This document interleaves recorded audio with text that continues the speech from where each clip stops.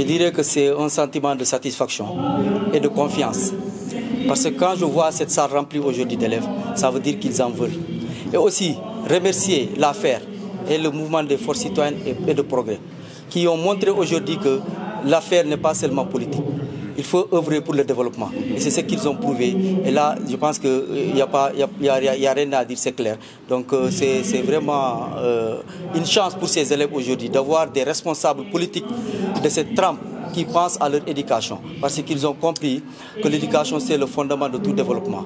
Donc les remercier et aussi les encourager, les dire encore que nous les attendons encore sur d'autres matières, parce que cette journée ne doit pas se limiter seulement à la philosophie, on ne doit pas traiter les autres matières en parent pauvre. Donc je suis sûr et certain qu'avec les gens de ces deux entités, euh, l'importance qu'ils ont collée à l'éducation, je suis sûr et certain qu'ils reviendront pour d'autres matières encore.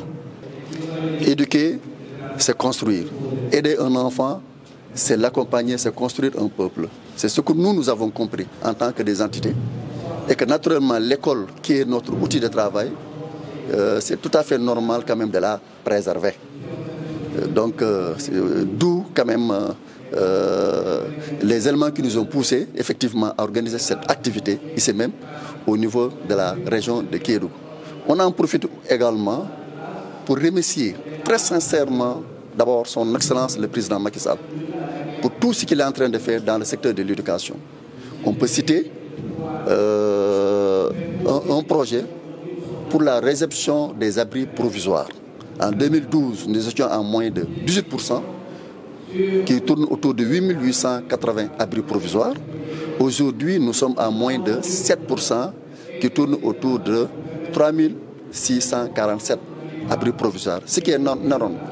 Parce que la politique du président s'endosse sur deux piliers, l'équité sociale et territoriale, et également dans le PSE, le capital humain est effectivement euh, un, des, un des volets extrêmement importants que le président Macky Sall a inscrit dans sa politique de l'émergence du Sénégal.